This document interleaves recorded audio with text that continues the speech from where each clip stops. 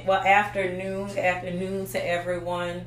Y'all know i normally will um do my videos the opposite way. I will usually set up the video um and kind of talk to you guys from the other direction so it's a little bit different this way. But um you know with that being said i'm really ready. I've been in the office all day preparing this lesson and I, I actually did not plan on doing a live teaching today okay? I didn't plan on doing it. I planned on uploading um, i had planned on uploading a video that we had done previously um, but i kind of felt in the in my spirit that i was supposed to do it but i really wasn't sure. So um, you know long story short this morning when i got up I believe the Lord was telling me um, that we needed to do this lesson today and basically told me what we needed to be sharing about. So um, we're going to jump into it. But first, I want to just throw out a few things to you guys. Um, thank you all for being on the video. Go ahead and hit the like and share button. If you share this video to your page, it allows me to reach more people to get them this information. And this information I feel like is is extremely needed in the dance ministry community. Um, I feel like it's applicable to any part of ministry, but many of you know me, know that I believe in staying in my lane. And so I believe that this is my lane uh, to be, um, is to deal with issues concerning the actual dance ministry.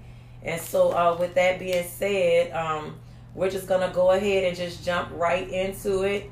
Uh, I'm gonna give some announcements and, and, and things like that, and then we'll actually get into the video. So I got everything set up on my end. I'm sorry, y'all. It took a little bit of doing as normal, but um, I want to let you guys know that we do have a YouTube channel.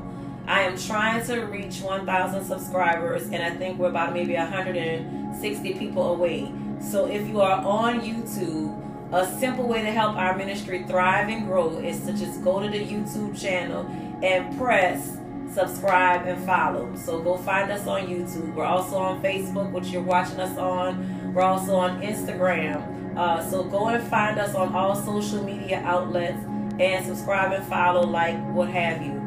Um, if you are not a member on our website, I want to go ahead and tell you to get online, yetpraisedancecompany.com, and become a site member. When you are a site member, basically, whatever we're doing, whatever we upload or put there, you get it first. Um, uh, with that being said, between January and February, I do not have the, the actual date just yet we're going to be opening up our online school of worship. And what the online school of worship is, is it is um, basically dance ministry training that you guys can take advantage of and utilize online.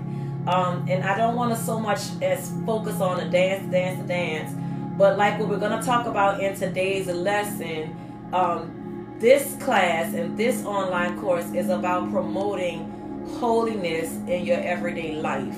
Anybody that knows me knows that I'm really big on living a holy, born again lifestyle on a consistent basis after the music stops. You can hop, skip, leap, jump all you want, but if that holy lifestyle is not there, what good is any of your giftings? And so, with that being said, we're also during throughout that course uh, we're also going to have, uh, I guess, what you would call dance training. You'll get technical training in classic ballet, as well as you'll get uh, technical training uh, to use in your ministries. A lot of people that I talk to say that they become stuck or they feel stagnated in their ministry because they really don't see the room or the opportunity for growth.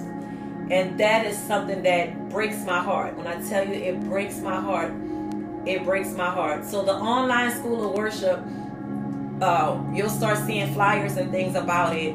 Uh, but that will be opening up between January and February. But I will have uh, the information out there for you guys to find out about it. The beautiful thing about this, this online school of worship is only going to be $19.99 a month. Okay, and uh, it's a monthly membership class. A new class will post every week.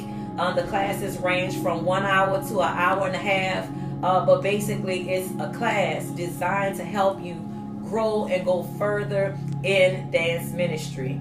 Um, so, the online dance ministry school of worship will open up between late January and early February, and it is only $19.99 a month.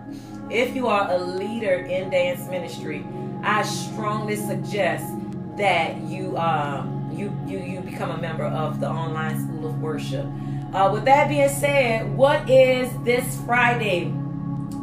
This Friday is Black Friday. Amen. Everybody's gonna get ready to go and do their online shopping or shopping in the stores and and, and brave bravely battle the crowds. I I couldn't do it. I did it one year and literally I was just so drove because it was just they had like 10 TVs at Walmart and 50 people trying to get them. And so literally it was just um it was just way way way way too much. And so with that being said, uh, we have a Black Friday sale that will be online. It's going live Thursday morning at 12 a.m. Uh, we've uploaded so many new things to the website. Uh, but with that, we've also uh, brought back some older things that you may never have seen before. So the website is lit right now, and every day I'm adding new things to the website. Yesterday we added new choreography. Um, today we uploaded two more um, ebooks, which one goes with uh, a webinar that will be live on. Um, the live webinar will come live actual Thanksgiving uh, day. So it'll go live and you guys can check it out and see it then. But the, the name of the webinar is Gossiping Leaders. And I feel like that's another topic that we have to deal with in the dance ministry, gossiping leaders. And um, that webinar, and as well as many other webinars, several online dance classes, everything's going to be on sale. If you want to buy choreography, the choreography is going to be marked down to $45, and that's for anything that is uh, pre-recorded on the website that is not for custom choreography. Also, um, all the webinars are going to be seven dollars. All the little ebooks that we have are going to be three dollars.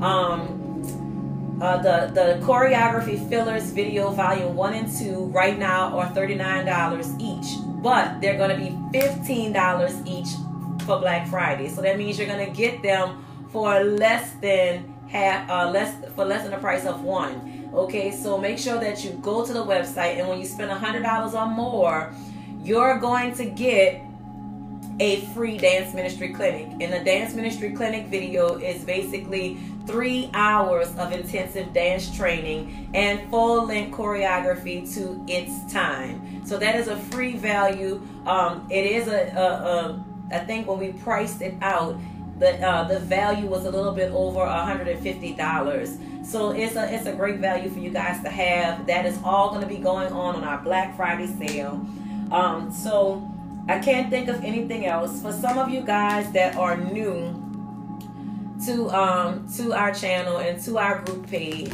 um, I just want to let you guys know that I'm Racheal Frazier. I'm the owner and director of Yet Praise Dance Company. I've been active in dance ministry now for 21 years. And throughout this time, um, I've definitely learned what to do, what not to do, what works, what doesn't work. And I'm still learning and growing. But what I'm doing this for and why these resources are available to you is because I know what it feels like to be a leader and not really have somebody to help me and to train me and to cultivate me specifically in the area of dance ministry. So that is why I basically do what I do and I'm praying that you guys will be blessed by today's video. If you haven't already, I need you to get a Bible, a notebook, uh, and a pen because this is a teaching live webinar. So I want you guys to go and get those resources out and we're going to go ahead and jump into the lesson. Is everything okay on y'all's end with sound? Can y'all hear me okay? Let me know. Can you hear me all right? And then we're going to pray and we're going to get started. Today's topic is dancing devils. Okay? And oh man, we're going to just go ahead and have a word of prayer. Father, in the name of Jesus, I give you the praise, the glory, and the honor. I thank you because today is the day that you made. You've blessed us with this day. You've given us our life, our health, and our strength. And for that alone, Lord, we honor you and we bless you. We say thank you and we will raise a hallelujah to you this morning. We exalt you and we acknowledge that you are King of kings and Lord of lords. We repent and we ask that you would forgive us Forgive us of our sin for our lack of faith and our lack of trusting in you and your character.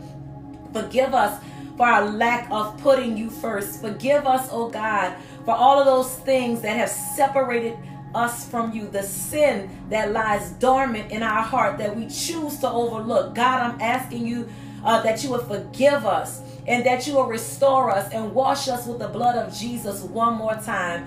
As we dive into today's lesson, I'm asking that you would speak through me, Lord, that you would give each leader watching what they need to hear. You will give each leader watching uh, that strength and that hope and that encouragement to persevere, to press, to go on, to move further, and to be who you have called them to be. And Lord, I thank you for an opportunity such as this. I ask that you would speak through me and that no flesh will glory in your presence, but make me sensitive at this very moment to the moving of your spirit. And I thank you for what you're going to do. Thank you for blessing the leaders that are on this video right now. I thank you and praise you for it in the name of Jesus. All right, guys, let's get into it. If you haven't already, go ahead and like and share this video. Um, go ahead and put your questions in the comment sections. I promise that I will answer your questions once I actually complete the lesson that we're teaching. And so today, when I was uh, preparing and getting ready, I, I received the topic Dancing Devils. And what is it that you guys think about when you first hear somebody say dancing devils? You know, what, what comes to your mind when you hear that? And so the thought that immediately pops up in my mind is these dancers on stage with these red satin costumes and pitchforks and they're dancing and jumping and skipping and leaping and they're just they're dancing. And i know my my uh, imagination is wild okay? It's wild. But that's what i see when i try to visualize a dancing devil. But when i actually start to think in my heart and in my spirit what is this what is a dancing devil and i think I think it is people that are operating in ministry but not delivered from habit sin and they're fully functioning in dance ministry. So let's say it again. What I believe a dancing devil is, is a person that is functioning in full time dance ministry, but they have not left habit sin. Okay? meaning they are sinning on a consistent basis. They know that they're doing it. They have no unction or, or, or leading of the Holy Spirit to change. Okay? And so what I want to interject here is that I'm not perfect. I'm not I'm not uh, saying that I am without sin. Let me cast a let me cast a stone and, and, and try to take that splinter out your eye, and I got a big plank in my eye. I believe that we all have sinned and come short of the glory of God. But the point that I want to hammer away with is are we living in habit sin? And habit sin is sin that you you you know those little things where we say, God gonna forgive me. But you go ahead and you do it anyway because oh God gonna forgive me. Oh, I'm gonna repent about that later. I, I'm gonna have a little fun right now, but God gonna forgive me. And we have to be very careful with taking the forgiveness of God for granted. And so a lot of times we will bank on this forgiveness and this mercy of God and, and, and look for this greasy grace where we could just slip into sin and slip out of sin and do this and do that. And we're looking for all these different allow- allowances from God because, oh, God gonna forgive me. And I, I believe right now that we are lacking power as the body of Christ, as the dance ministry portion of the body of Christ, because we're banking on, oh, God gonna forgive me. And then we have the audacity to want to take on a platform in ministry, but we are living in habit sin. And some of the habit sin for some of you have become iniquity. I mean, it is deep rooted, infested sin that you have not confessed before the Lord. And so, um, I just want to make this comment. I'm going to be going back and forth to my computer because that's where my notes are. Um, and I just want to interject here that, again, I am not perfect in saying that we have to be perfect. We are supposed to be striving to become Christ like. That means every day I'm, I'm striving harder than the day before to begin to apply the different teachings of the Bible to my everyday life. And that's what I mean by striving and living a Christ like, Christ centered life. And I think that we have to be very careful to define what living Christ like really, really is. So, with that being said, the real focal point here for this lesson is not really about a dancing devil. Okay, that probably intrigued you to want to click on this video, and I thank God for that. But what I really want to focus in on, and what I really want to harp in on, is living a holy and righteous lifestyle. So that is the real focal point here. The focal point is to paint a clear picture of what it looks like for us as ministers of dance to live what we worship, to live what we are singing uh, or, or dancing about. We get these powerful, powerful songs, but our lifestyle and our character does not match the song that we're ministering to. The songs are talking about self-denial and, and, and, and, and suffering and worshiping. And no matter what God do, I'm still going to worship. I'm still going to praise. But we're not really doing that because we're allowing sin to separate us from God. And that is where, when our sin separate us from God, we change masters. When we begin to live in habit sin, we change masters. We can't serve two masters. We can't serve God and the devil. And so a lot of us are functioning in dance ministry with no intentions and no motives of living a holy and a righteous lifestyle.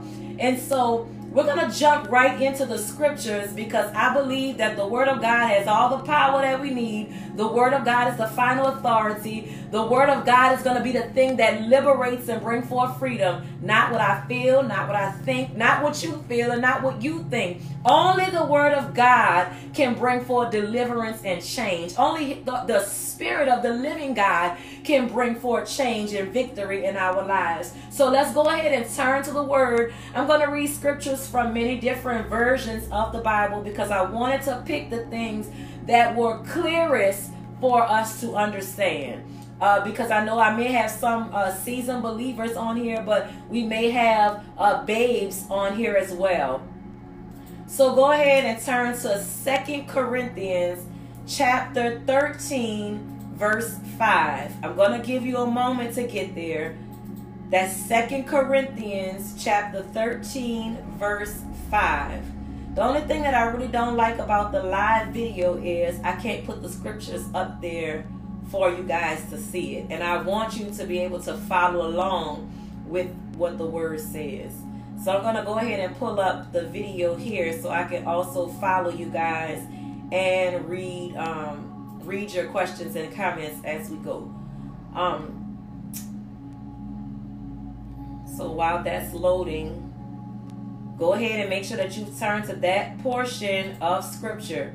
And it reads from the New American Standard Bible Test yourselves to see if you are in the faith. Examine yourselves.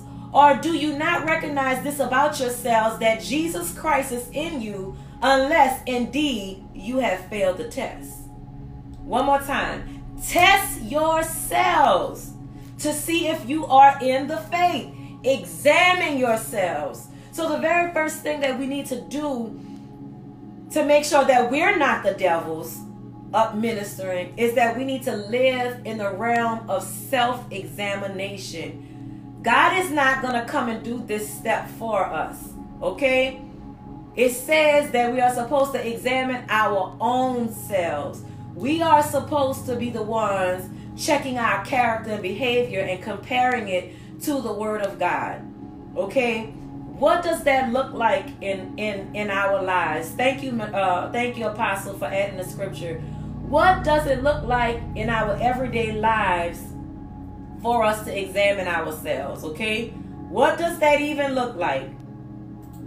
Well, to me, what it looks like is that I am checking my actions, my responses, how I deal with people, how I talk to people, and I'm, I'm, I'm examining that and comparing it to what God's words say I should do and how I should carry myself, right? And so once I do that, if it's not lining up with God's word, well, then I got to go back in and I got to do some repenting. I got to go in and ask the Lord to forgive me and not just to forgive me, but forgive me and change my mindset. In our women's Bible study at church, uh, we were doing a course about repentance and how repentance is more than just you saying that you're sorry to God, but it is really saying, Lord, I'm sorry for what I did. Change my mindset about this whole uh, issue. Like if you are battling with lying, right? If you're battling with lying you just lie for conversation purposes, you would say, Lord, why am I lying? This lying that I'm doing is breaking your heart because the scripture says all liars shall have their part in the lake that burn with fire. So clearly God does not condone or approve of that. But we go and we examine ourselves. Lord, this lying is breaking your heart. And so I don't want to be a liar. So God, I need you to deliver me from this spirit of lying. And God, every time it come up, give me the courage to face it and even tell the person, you know what, I'm lying. Let me just back on about it here. That's that repenting with godly sorrow and just knowing that we are breaking God's heart. I mean, it's something about knowing for me that I'm doing something that is breaking God's heart that causes me to want to turn away. Just straight up. When I realize I'm doing something that God is displeased with, or God is being dishonored by, or God got to turn his face from me because my sin is so blatant, I got to do some turning away.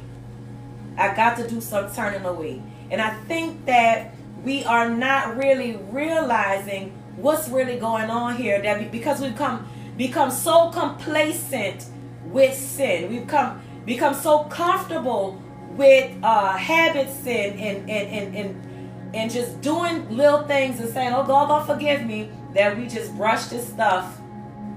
We brush it under the rug. We brush it under the rug. And so I think it's time for us to, to come face to face with some of this stuff and stop doing it. I want to turn to Lamentations chapter 3 verse 40, and I'm going to read this from the NIV version of the Bible. It says, Let us examine and test our ways and turn back to the Lord. A lot of times we get up and we minister and we do all of this stuff, but have we examined ourselves and tested our ways to see if they line up with the scriptures? You know, if you are in a relationship with a man that you are constantly having sex with and you are not married to this man, the Bible says that that is fornication. And that fornication is the only sin that destroys your body. So if you're destroying your body with sin and fornication, how can you get up and worship and dance? Those two things don't match. And so I'm not condemning you. I'm praying that I can cause you to repent because the Bible says our sin separates us from Him. And so we shouldn't be touching the things of God when we're in habit sin. Now, if you're in dealing with issues that you're constantly in repentance for and you're seeking God for, that's different. But I'm talking about you laying in bed with this man whenever you feel like you hot and need a release, and you still get up to minister. And I mean, guys, it's the stuff we got to deal with. Sex sin and sexual sins are plaguing the body of Christ. There's people involved in homosexuality and lesbianism, and they get up and kick up a leg, and everybody falling out and dead and screaming, and we're really conjuring up a demonic spirit to be released. We're not conjuring up the Holy Spirit. That was not a move of God. That was the flesh at its very finest. And so, um, I don't want to get stuck right there. Let's keep moving. Self examination is a major part of living a holy life where we are turning the Word of God and we are examining ourselves. And I'm doing this video today because I feel like a lot of us are not going back and examining ourselves. We get on Facebook, we judge this one, we judge that one, we say this about that one. And right now we're doing it as a church as a whole with Kanye West. We're judging to see if this man's saved. I'm too busy worrying about can I stay saved? Can I be saved? You know what I'm saying? And so I'm too busy examining my own self and, and making sure I'm living a repentive lifestyle and make sure I'm not doing these willful things against God. And that is what we have to do because the scripture tells us to examine ourselves. And so this video is all about examining our heart and examining where we are before we get up on these platforms to, to minister and use our gift. Okay? Some of us might need to go put our gift up on the shelf and make sure we right with God. We need to do that. We need to do that. We need to do that. And so, knowing God more personally should develop a respect and a reverence where that we don't want to break God's heart with our bad character. You know, it is to the point where I don't want to break God's heart because I'm gossiping about somebody. Because the thing is, it's not even about that, that person I'm talking about. If God is omnipresent and God is everywhere at once, that means God is present when I'm slandering, gossiping, lying, or backbiting about someone else. God is present when you are in the midst of that fornication or adulterous relationship. God is present when you are um, not referencing his name. God is present at those very moments. And we just take that for granted. But I don't want to sin in the presence of Almighty God. I don't want to get up and, and minister before people and receive their approval, but I have been rejected by God because my lifestyle does not meet the qualifications of a minister of dance according to the scriptures. Many times I think we just don't want to go that far in Christianity. We don't want to go that far where we got to examine ourselves and work out our own soul salvation with fear and trembling. We don't want to go that far. We only want to go far enough where we're going to escape the flames of hell. But we don't want to go further to receive the rewards that God says He has for us in this life and in the lives to come. And y'all, I'm talking to me about this stuff too because anything I get on here to share, God deals with me with this stuff. God is dealing with me. Am I living holy? Am I living righteous? Am I putting Him first and seeking first the kingdom of God and His righteousness, letting everything else be added unto me? And this is what is a, a holy lifestyle is all about. It's about putting God first. And so, salvation is more than going to church. Okay, I gotta say this salvation is more than going to church. Going to church does not mean you are a saved, born again believer more than me going into a garage makes me a car. Somebody used that little meme with, a, with the cat, and that cat, I swear that cat gonna expose the heart of the church because that cat dealing with some issues that some of our pastors are not dealing with. That cat is dealing with some issues. Can somebody say amen? That the cat is trying to bring forth freedom. That poor little cat being wore out right now. But the one of the memes was the girl was saying, I am a Christian because I go to church. And the cat replies back to her, uh, well, if I go to McDonald's, do that make me a Big Mac? So you going to church does not define if you are born again. And so a lot of times we get up to minister, we're doing all this stuff, and some of us, us have not even gotten our relationship right with God whether we are a born again believer. That part. Let's go ahead and turn to First Corinthians chapter 15 verse 31 and this particular verse I'm going to actually read from the King James version of the Bible. And it says, I protest by your rejoicing, which I have in Christ Jesus our Lord, that I die daily. Paul is saying here that Every day he get up, he's telling himself, I have to die. I have to die to what I think. I have to die to my opinions. I have to die to what other people think about me. I have to die to my past. I have to die to my present. I have to die to my future. And I, I want to really be real with you guys. I'm in that place right now. I'm in that place where the Lord has me in many, many situations where I have to die to myself. And in some of those areas, I'm not dying gracefully. And what I mean by dying gracefully is letting the Lord have his way. Some of those areas I'm still trying to defend myself. Some of those areas I'm still trying to prove that I'm right. And uh, when, when we die, and when there's a dead man laying in a casket, and we go to view that body, you could touch it, you could poke it, you could flip it, you could throw it. That dead body is not moving because there's no life there.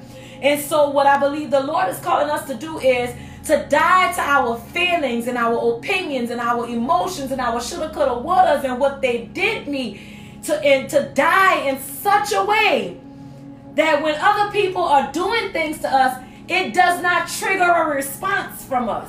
Because the only response that we have is, Lord, you allowed it, so have your way. Have your way. And so this is what I'm learning in this season of life.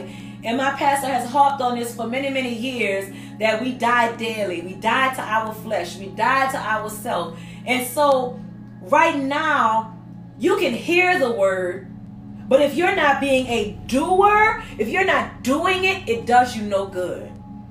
And so this is how we become a dancing devil when we don't take the word of God and apply it to everyday living. When you wake up in the morning, you have a choice. Are you going to entertain that spirit of depression or are you going to cast it down and start quoting the, scriptures? Are you going to entertain the loneliness that you feel because you might be a single woman not involved with a relationship and you you strongly desire a husband? You know, are you entertaining that? Are you festering on it? Are you pondering on it? Or are you saying, Lord, I choose to die to that. You have not given me that yet. I'm trusting you, but I'm not going to make that the focal point of my day and my life. I yield myself to you and I give that to you, oh God. Let's go to Galatians chapter 2, verse 20. And it says, I'm going to give you a bunch of scriptures about dying to yourself, dying to what you think, dying to what you feel. There's this thing right now where if the leader corrects you, it is called church hurt. And I see it everywhere. I see it in dance ministry, mime ministry. I see it in uh, praise team, churches. It's, it's running rampant because this is a movement of the culture. You can't correct me. It is a movement of the culture right now that you cannot acknowledge what I've done wrong because you sin and you be wrong and you do this and you do that and you just a man. And and what that is doing is it is tainting and it is hindering us from living a holy, righteous, born again lifestyle. God has put leaders over us that are leaders after his own heart that they might be able to train and guide us in righteousness, in holy living. The Bible said in the book of Romans, how will they hear unless they have a preacher? How will they hear and know what to do unless the preacher tells them? Yes, you can read and study on your own. Yes, you can dive into in God's word and get nuggets and information. But no, you cannot get it all on your own, or God will not have set these people in place to be able to help you in such a way. Can somebody agree with me? Can somebody right now just go ahead and start hitting them hearts and agreeing with me that no, we cannot get it all on our own? Whoo! The uh I know I'm giving a lot of scriptures, but I strongly want to encourage you guys to go and buy the notes. Okay, I can't go back because we're on a time clock, but go and buy the notes. The notes are five dollars and ninety nine cents, uh, and the link is attached above. Okay, um, but I just wanna, man, man, go ahead and like and share this video while we're talking. Just go ahead on and do it. Galatians chapter two, verse twenty. These are scriptures that talk about us dying, dying to our wants, our emotions. And the, the dance ministry is such an emotional ministry. If the leader tell you something, you take that thing so personal to heart. I just had a situation where I was I was told something and well let me I wasn't told anything. Something happened and I didn't like the way the leader treated me by what they did. And immediately the spirit of offense came upon me. And the Lord is, is even now, as I do this video, He's working that thing out of me because people are people. If you know the heart of your leader, it's not to destroy you, it's not to devour you. It's supposed to be to build you up and to encourage you. But we just target them because we don't want to really deal with uh, the issues on the inside of us. So Galatians chapter 2 verse 20 says, I am crucified with Christ. Who? What? Wait, huh? I, me, Racheal, you. You are crucified with Christ. Nevertheless, I live, yet not I, but Christ liveth in me. And the life which I now live in the flesh, I live by faith to the Son of God who loved me and gave himself for me. That tells me ain't no room for Racheal. Because the life that I now live, I'm living it for Christ to be seen through what I say, through what I do, through how I act, through how I treat people. Christ has to be seen. It's not your responsibility if Christ not being seen in the leader or or in other people. It's your responsibility. It's Christ being seen through you? Let's go to Luke chapter 9 verse 23. And it says, And he said to them, All, if any man will come after me, let him deny himself, take up his cross, and follow me. We got work to do. I got to deny myself. If I'm single and don't have a husband, and I'm feeling lustful, like I want to have sex, I got to deny myself that means I got to go to praying in tongues. I got to start fasting. I got to get on my face. I got to lay prostrate. Baby, you better do whatever you got to do for, for that hot, lustful feeling to, to flee. But you better not feed it. You better not feed into your lustful desires. When when when somebody lie on you, you want to basically let them know they lied on you. You want to check them confront them, or do whatever. But in some cases, you got to do Luke 9 23 and say, Let me deny myself, take up my cross, and follow Christ. Because I don't have to deal with that. You don't have to address every issue in your life. You, you do not have to address every issue that come before you. You can be uh, fighting battles and losing the war. What is the bigger picture here? The bigger picture is that Christ is glorified in my everyday life. Forget when the music on. Forget when I'm before men.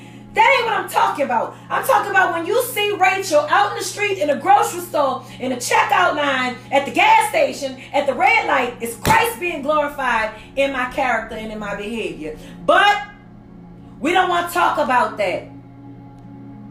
I'm going to keep it real. It's Christ being glorified with how you dress. Y'all, as I scrolled through Facebook this weekend, I saw so many Christian women looking like the world.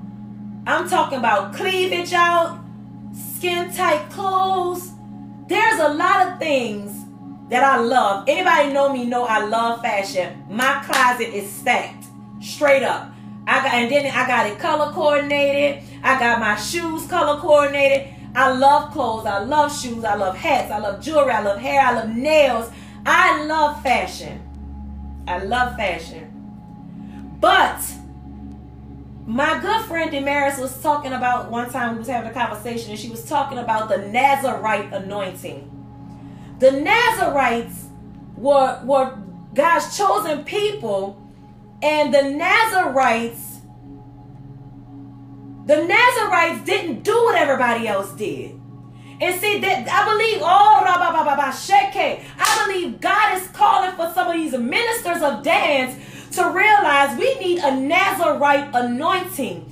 The Nazarites didn't drink wine. The Nazarites didn't go certain places. The Nazarites didn't go around dead bodies. They didn't do certain things because of the anointing that God had placed on their lives. Now, am I saying that certain fashion is wrong? No, it's not. But it all depends on what you are called to and what office and mantle God is putting on you. And because of the mantle that God has put on my life, I can't do certain things. I can't go certain places. And I, I put a post up, and I'm going to address this here. There is secular music that I love. Straight up. But because of the office and the anointing and the calling on my life, I cannot have no communication with it. Now, I know Christians believe that secular music is okay because we got Christian music artists that have collaborated with the world. There's no way in hell I'm doing a collaboration with Nicki Minaj. I'm I'm a preach the gospel to you for you to repent, but I'm not gonna have a collaboration with you. I'm not gonna do it because my linking up and my yoking with you gonna cause somebody else to stumble. That's where we got to do. Luke 9 23, it says, Let him come after Christ take up his cross, deny itself. Y'all, what are we doing? The church don't have any power. Your dance don't have no power because you are worldly and fleshly. Just go ahead and report my video, delete it, do whatever, but I, baby, I don't care. Let's move on. Galatians, I ain't even got to the heart of this lesson. I ain't even got to the heart of the matter. I have not gotten to the heart of the matter. We are living in this lukewarm state. And then we want to get up and minister to God's people. And I, I, I, I don't understand that. And, and I'm, I'm telling y'all, I shared this on another video. The Lord convicts me about th- the least little thing I got up to minister one time and I had not spent time saturating in the music. I had not spent time saturating in the presence. I had not spent time feasting at the table in the word. And I got up to minister. I was tired. I mean, I barely made it through the song. But on the outside, the people that were watching me minister, they was clapping, they was shouting, they was they was going for it.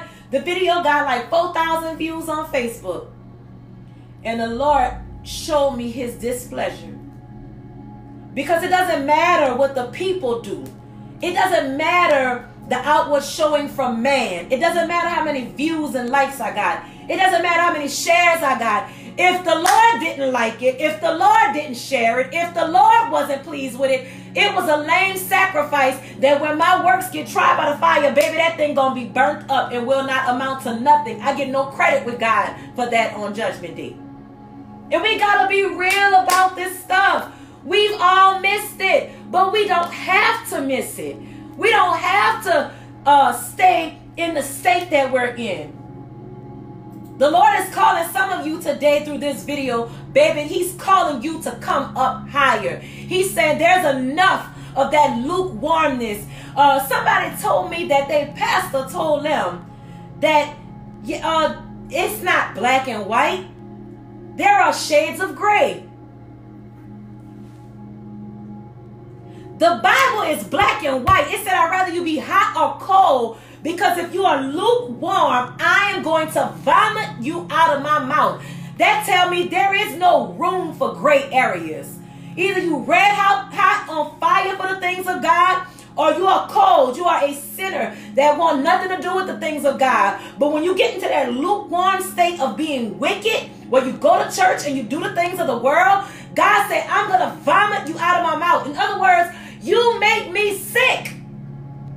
But this is what we are doing, and we're ministering, and we're going forth to do all these things hop, skip, leap, jump, turn, kick, boom. And then you pick these emotional songs that stirring up the people emotions, but no deliverance is taking place.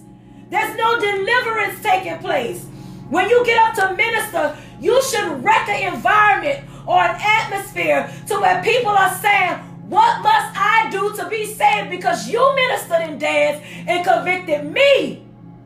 That's the kind of music you need to be picking. That's the kind of songs we need to be finding, or songs that's going to shift atmospheres. So when the pastor or the speaker gets up, and they, the, the atmosphere is already conducive for salvation and deliverance because we've done our part. Lord, have mercy, Jesus.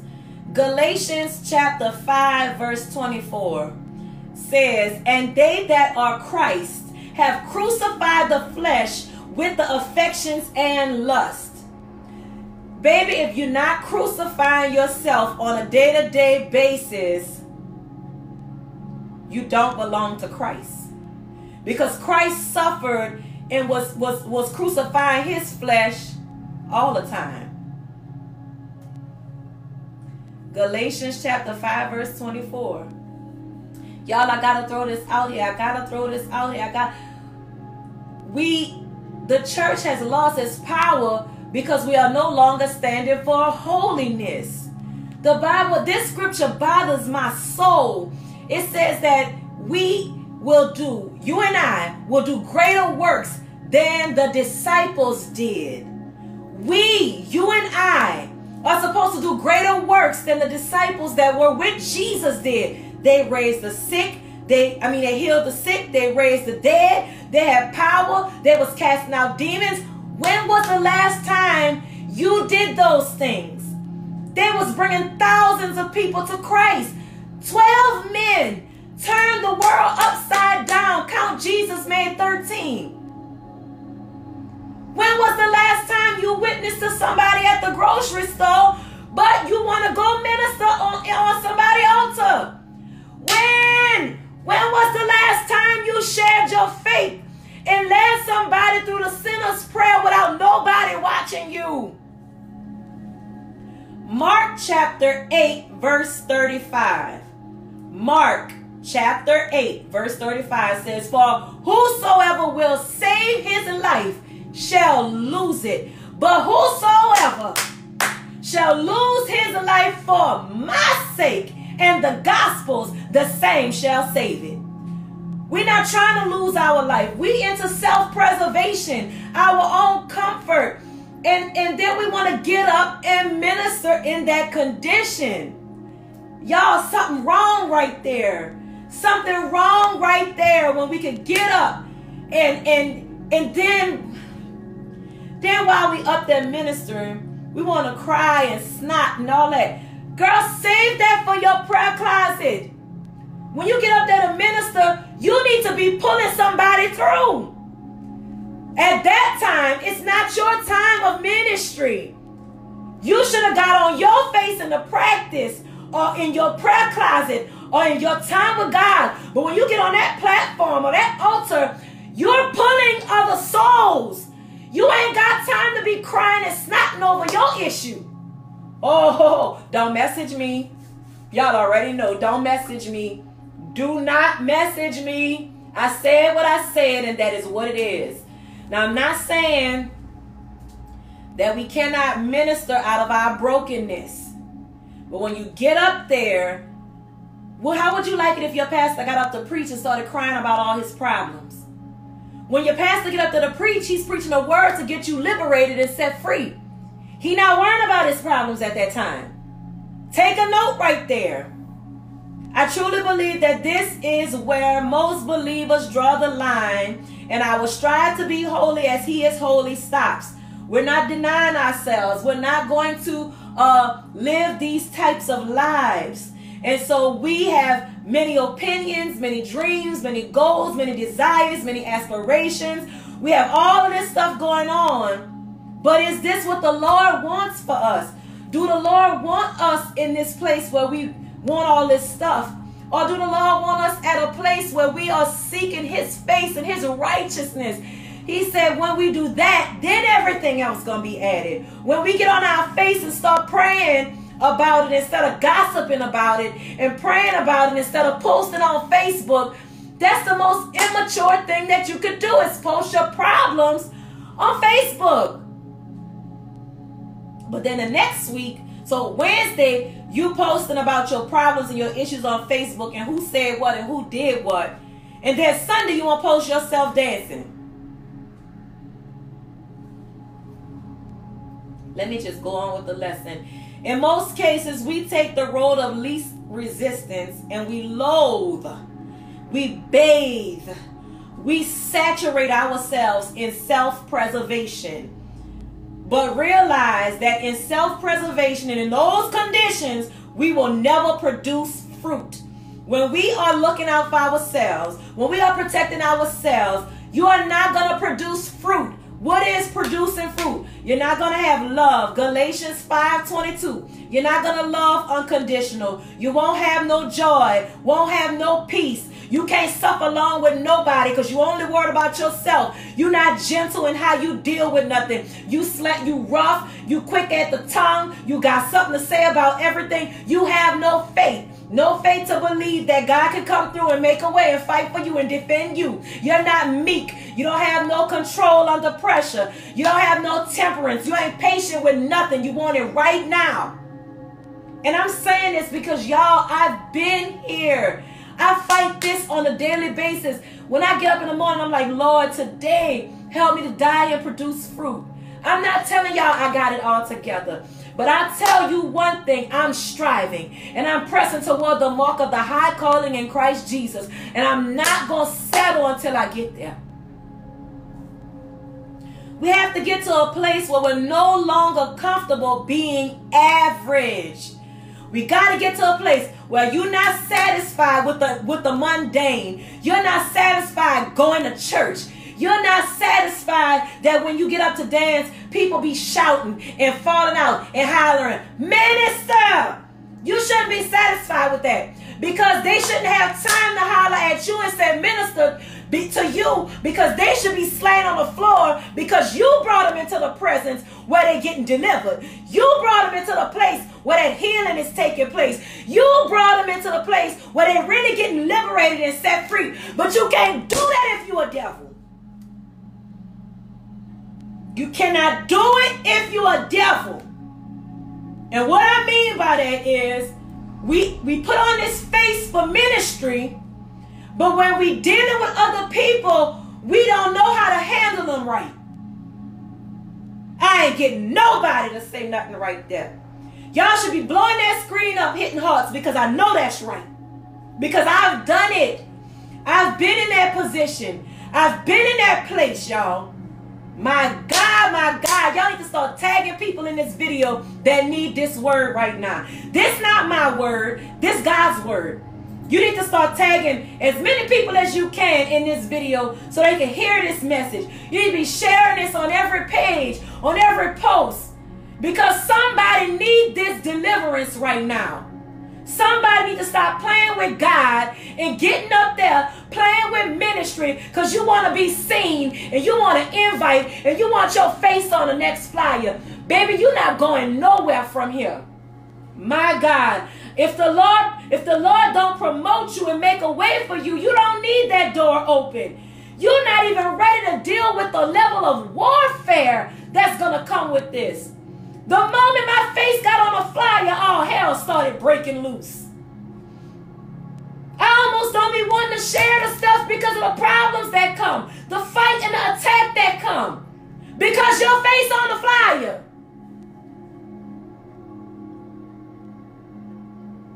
I, I, I'm to tell y'all this. My Cash App is up there in the link, and my PayPal is on on the link. If you believe the Lord is speaking to you and you want to sow a seed, please do that. I'm going to throw that in there because I believe in all the Bible, sowing and reaping and everything. So we have to get to a place, y'all, that we're not acting like bastard children. We got to get to a place where we're not acting like vagabonds and, and stepchildren we, you and I, are supposed to be a royal priesthood, a chosen generation, a holy nation. So if we are that, why are we acting like sinners and paupers, beggars? Why are we acting like spiritual vagabonds walking around here jealous and envious and gossiping and backbiting and lying. Why? Why are we hating on each other? Let's go to First Peter chapter 2, verse 9. First Peter chapter 2, verse 9 says, But you are a chosen race a royal priesthood, a holy nation, a people for God's own possession, so that you may proclaim his excellencies of him that called you out of darkness into his marvelous light. That's the problem. You have not come out of darkness. If you're still having sex with somebody you're not married to, you're still living in darkness. You have not come out. So you can't be the royal priesthood. You can't be the chosen generation because you're still lingering in darkness. I know this not no popular message. I know I'm not going to get a bunch of likes. I know I'm not going to get a bunch of shares. But some of y'all need to replay this video for your dance ministry. This week practice need to be this video. This week rehearsal need to be this video so that way they ain't got to pick on you and say you calling them out. Let me call them out. Let me call them out. Don't don't let people deceive you into thinking that it don't take all of this to be holy and it don't take all of this to be righteous. Baby, it take all of this and more. I haven't even scratched the surface of living holy.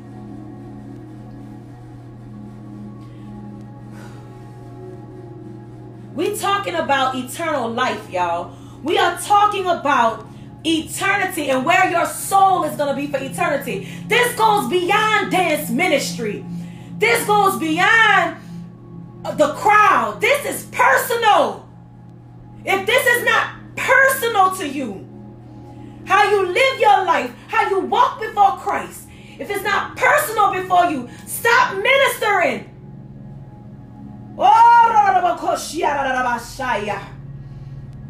Oh, we got to begin to do all the verses that I, I just mentioned and I just gave. You got to start living in the realm of I die daily. I'm taking up my cross today and following you. And it's not easy. I'm not going to sit on this video and tell you it's easy. That's why the Bible said count the cost before you put your hands to this plow. Count the cost. Are you willing to pay the price? Lord, some of us are ministering, but we're not paying the price. And you're offering up strange fire before God.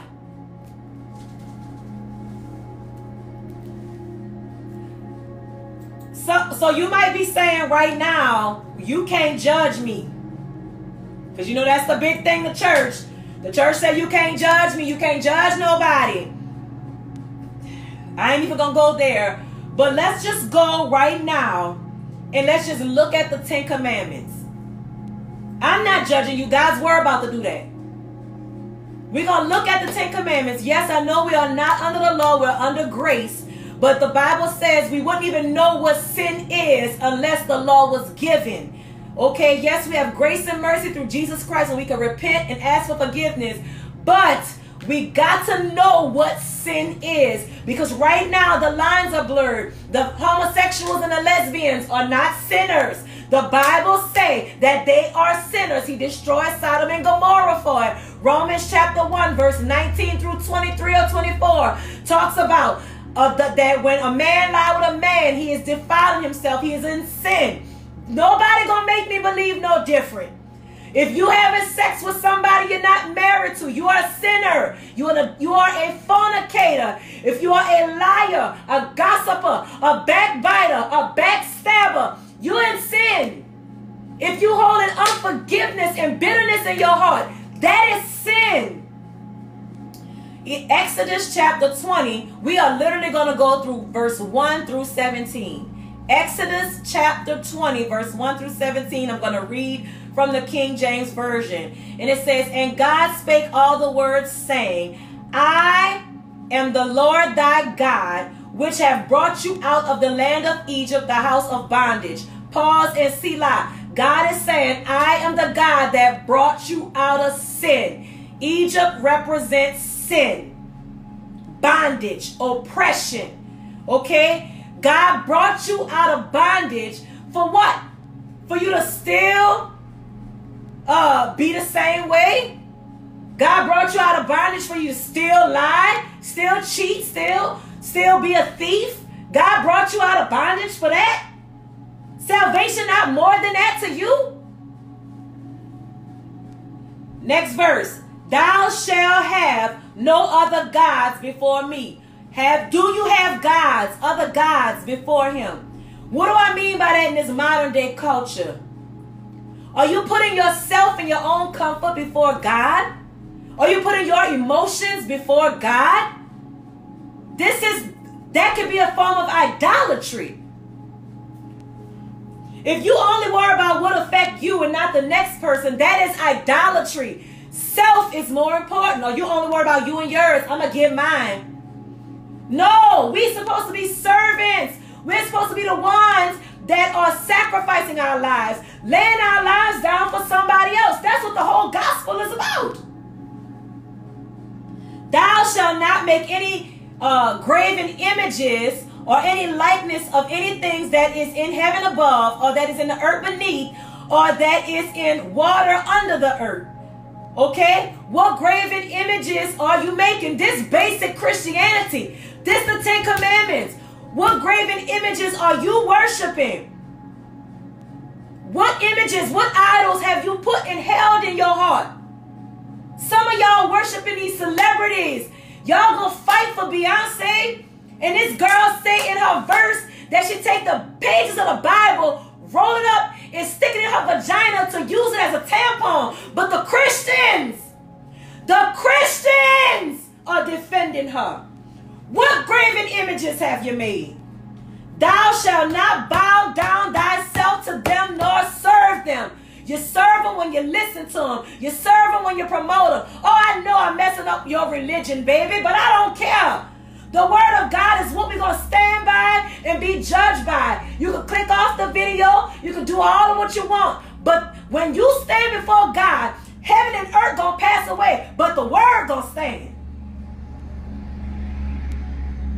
Thou shalt not bow down thyself to them nor serve them. For I, the Lord thy God, am a jealous God, visiting the iniquity of the fathers upon their children to the third and fourth generations of all them that hate me. Mm, you don't even realize you laying up a curse for your children and your children's children because you can't do what the scriptures say and let that foolery go. You can't do what the scriptures say and die to yourself and start worshiping yourself and how you feel and what you think. He says, so guess what? I'm going to visit that curse to your children, your children's children, up to the fourth generation because you don't want to do what God said. Oh, I ain't getting no likes, no hearts, no nothing. But I'm going to say what the words say, and I don't care how you feel about it. And showing mercy unto thousands of them that love me and keep the commandments. Thou shalt not take the name of the Lord thy God in vain. We do that all the time. Oh my God, did she really just do that? That is taking the name of the Lord in vain. Oh my God, God's name is holy. God's name is righteous. God's name is sovereign. Why are we throwing his name around like that? And showing mercy, I said that, okay. For the Lord will not hold him guiltless that take his name in vain. I'm going to just keep it moving. I'm going to keep it moving. Remember the Sabbath day and keep it holy. Six days shall thou labor and do thy work, but the seventh day is the Sabbath day of the Lord. It is thou shalt not do any work, thou, nor thy son, nor thy daughter, nor thy maidservant, nor thy manservant, nor thy cattle, nor the stranger that's within the gates. For in six days the Lord made the heaven and earth and the sea, and that is in them, and rested on the seventh day. Are we honoring that? All I'm doing is pulling the Ten Commandments right now, just to show you Examine yourself. Y'all, mm, I'm doing that right now. I'm examining myself. Yesterday I got up and I was about to start working and doing all of this stuff, and I ended up doing it. I'm not saying I think it's got to be a balance. It's got to be a balance, but we got to be mindful. I'm not talking about obey the law here. I'm talking about the law is here to let us know what sin is. So y'all can finish reading that yourselves all the way to verse 17. There's only three or four more verses to go. But Romans chapter 3, verse 20, and I'm going to read it from the Living Bible says, Now do you see, no one could ever be made right in God's sight by doing what the law commands. All them scriptures I just read, you're not going to be made right by doing all of that. That's there to show us that we what sin is. It says, For we know of God's laws, the clearer it becomes that we are not able to obey them. The law serves to show us that we are sinners. When you know that you are a sinner, you live in the realm of repentance. I ain't getting nobody to like that. If you are a sinner, if you live in a, if you know that I'm a sinner, saved by grace that causes you to live differently. Not the sinner saying, oh, well, since I'm a sinner anyway, let me just go sleep with so and so. Let me go do this. Let me smoke that weed. Let me drink that liquor. Not in that case. That's not what I'm talking about. I'm talking about, I'm aware that Jesus died for my sin to be forgiven. Jesus died that I could be washed and cleansed from my sin and my habit and my old ways. Are you violating your conscience? You know that feeling you get when you've done something wrong? People say that's their conscience. I wanna uh I wanna I wanna I wanna beg you to to to uh uh uh I, I wanna beg you to not say your conscience, but say the Holy Ghost. That is the Holy Ghost trying to warn us. A lot of times when I'm about to do something, I could feel like, uh-uh, that ain't right. And when I feel like I'm not right, that little check is the opportunity where I get to make the decision on how I proceed. Am I going to still go and do this even though I got that little check that this might not be right? Or am I going to uh, yield and do some and do it anyway and give in to my fleshly desire? Does God really receive that repentance when we say, Oh, I'm to just do it and say, God, forgive me? I don't know. The scripture said that God forgives us to separate our sin as far as the east is from the west. But do you really want to be put in a position where you habitually sin for God to forgive you? I don't like to play them. I can't take that kind of chance with my soul. So, how should we live? We should live lives seeking to please God with everything we say and with everything that we do. With everything we say, with everything we do, we should be seeking to please the Lord. Romans chapter 12, verse 2 says in the King James Version, Hello, my love. It says, And be not conformed to this world, but be ye transformed by the renewing of your mind, that ye may prove what is that good and acceptable and perfect will of God.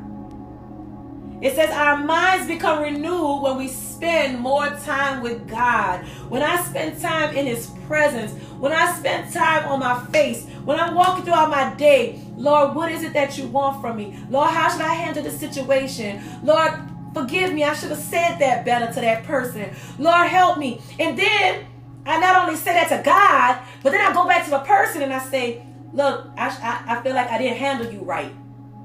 I shouldn't have handled that like that. Can you forgive me? I had a situation just recently where I was clowning with somebody and I and I referred to somebody's child as being bad. I was like, yeah, with his little bad self. And the Holy Ghost convicted me and said, You was out of order. Now we clowning. Everybody laughed it off and walked away. But then the next, the all that week, the Lord dealt with me. So when I got back with that same exact group of people, I had to tell them, y'all, I should not have said that. I'm wrong. For some of y'all, that's not no big deal. But my Bible tell me that I'm going to give an account for every idle word I speak. So if I'm saying a bunch of dumb stuff and nonsense that's not profitable for anything, that's not building up anybody or edifying the kingdom, why are we saying it?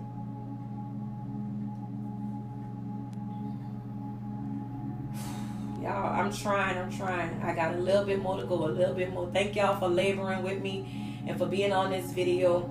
Let's turn to Proverbs chapter 4, verse 23, and we're going to also read that from the Living Bible. It says, Above all else, guard your affections, for they influence everything else in your life. You've got to guard your heart. You got to watch what you're putting inside of yourself because that's what's coming out. What are you watching on TV? What are you listening to? What kind of conversations are you having? What are you putting before your eyes? This is how we guard ourselves to be holy. And when we start living holy, we produce holy actions. I'm, I'm running with this. I'm running with this. In the Message Bible, the same verses, Proverbs chapter 4, verse 23 through 27, in the Message Bible reads, Keep vigilant Watch over your heart. That's where life starts. Don't talk out both sides of your mouth. Avoid careless banter, white lies, gossip. Keep your eyes straight ahead. Ignore the sideshow distractions. Watch your step and the road which stretch out smooth before you. Don't look to the left or the right. Leave evil in the dust. Leave evil in the dust. The Bible, this is how we become holy. This is instructions. The Bible is the basic instructions before leaving earth. This is how we live holy. We guard our heart. If it's not lining up with the scriptures, don't have no part with it. I'm screaming over here. We got work to do.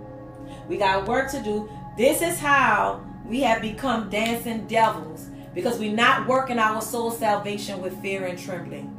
We're not taking the word of God and applying it to our everyday lives. We're not looking into the perfect law of liberty, examining ourselves, seeing what manner of man I am, you are. I don't have to examine you. You should be busy examining your own self. Let's go to Romans chapter 13, verse 14. And this verse we're going to read in an easy to read version. It says, But be like the Lord Jesus Christ so that when people see what you do, they will see Christ. Don't think about how to satisfy your desires of your sinful self. This is how we live holy. You're saying, How do I live holy? This telling you. But be like Jesus Christ. Be like Christ. So that when somebody see you get up to minister, they don't even see you anymore. They see the power of the Holy Spirit that have consumed your life because this is how you practice living. Before you get on the altar to minister, before you go dance. All right, this is it. This is the end of the lesson. So if you got questions, go ahead and start typing in your questions. To sum all of this up, in this lesson, every day, each moment of our lives, we have to live Christ focused. We got to be centered on Christ. Our mind got to be stayed on Christ. Our mind got to be, Lord, what would Jesus do? Remember that little fan? What would Jesus do? That is the truth. When I'm talking to you and you making me angry, I got to think, what would Jesus do? When you done lied on me, I got to think, what would Jesus do? When you done treated me like a fool and made me look dumb and embarrassed me before others, I got to say, Lord, what would Jesus do? Stop making room for the comforts and making provision for the flesh. Don't make no room for the flesh and its provisions. We got to start living in a place where we repent and have that godly sorrow that we realize this action broke God's heart. I don't care what nobody else think about it. I don't care how nobody else justify it. I don't care what nobody else allowed to do. I know for me, it broke God's heart and I ain't doing it no more. Wake up in the morning and get before God. Stop sleeping late. Wake up early and get on your face. Stop making excuses that you're too busy.